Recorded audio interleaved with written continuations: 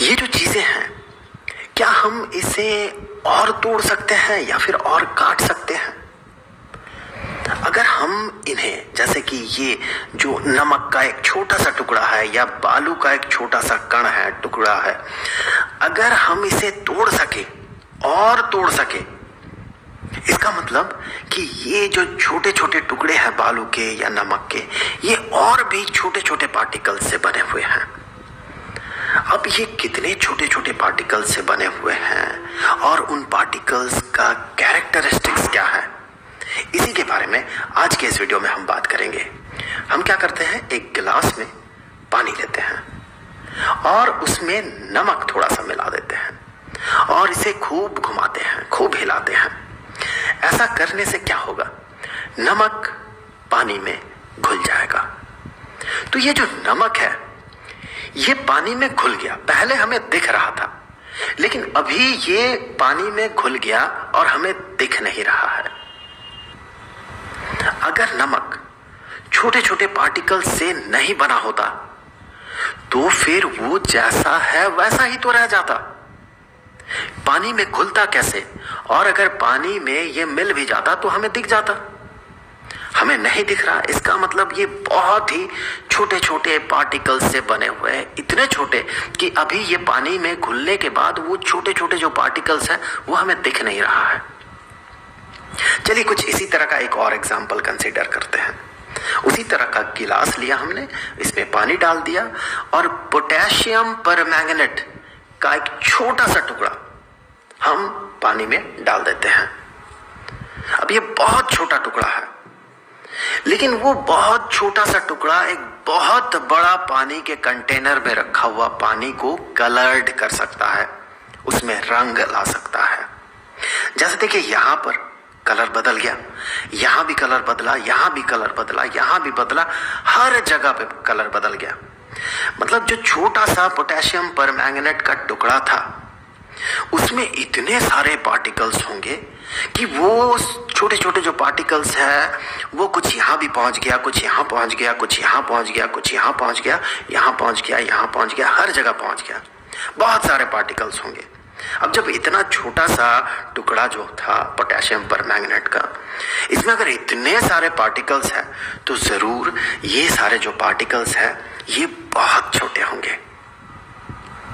तो मैटर्स जो है, ये बहुत ही छोटे छोटे बहुत छोटे पार्टिकल्स से बने हुए हैं।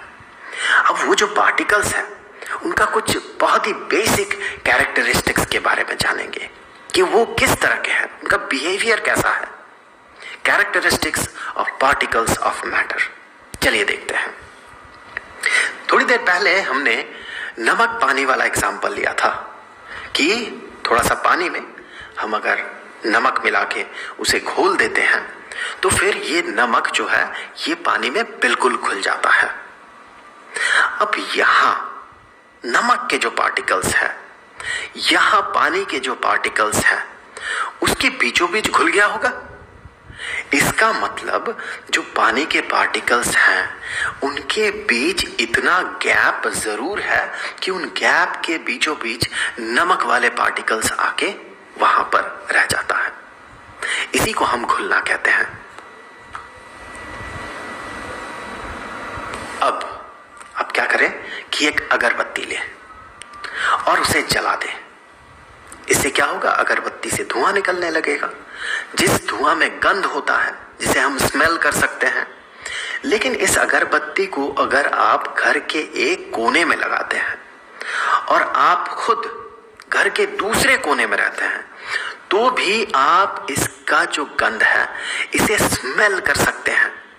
मतलब यहाँ जो धुआँ निकल रहा है, यहाँ का जो पार्टिकल्स है, ये ज़रूर मूव करते हुए करते हुए हमारे नाक तक पहुँचता है, जिसके कारण हम इसे स्मेल कर सकते हैं। इसका मतलब ये जो पार्टिकल्स हैं, ये कंटिन्यूसली मूव करता है इधर उधर इधर उधर मूव करता है, जिसके कारण वो अपने आप यहाँ से आपके नाक तक पहुँच गया। कुछ इसी तरह का कि पार्टिकल कैसे छोटे छोटे जो पार्टिकल्स हैं, वो कैसे मूव करता है। कुछ इसी तरह का एग्ज़ाम्पल है, जो नमक पानी वाला एग्ज़ाम्पल हमने लिया था, कि थोड़ा सा पानी ले ले और उसमें नमक डाल के छोड़ दे।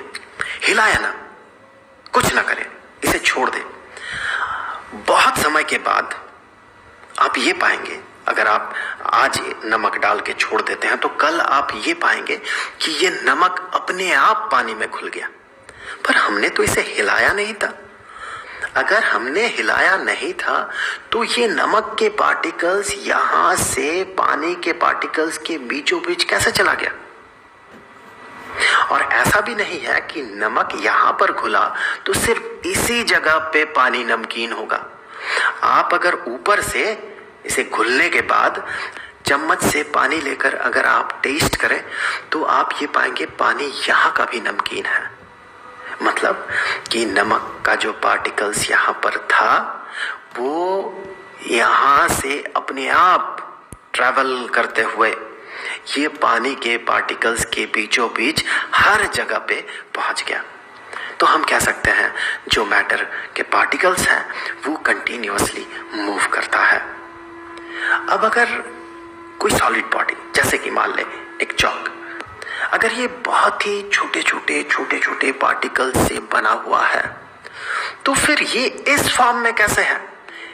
इसके पार्टिकल्स को तो इस तरह से बिखर जाना चाहिए था, लेकिन फिर भी ये चौक के फॉर्म में, इस तरह सॉलिड फॉर्म में कैसे रहता है? सिलिंड्रिकल फॉर्म में।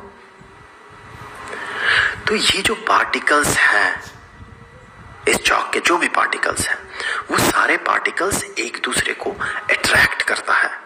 जैसे कि एक मैग्नेट लोहे के बने हुए कील जो है नेल्स जो है, उसे अट्रैक्ट करता है। कुछ वैसे ही ये जो पार्टिकल्स हैं, छोटे छोटे छोटे छोटे पार्टिकल्स हैं इस चौक के अंदर, वो एक दूसरे को अट्रैक्ट करता है। इसीलिए ये बिखर नहीं पाता है। तो पार्टिकल्स जो है मैटर का, वो एक दूसरे को अट्रैक्ट करता है।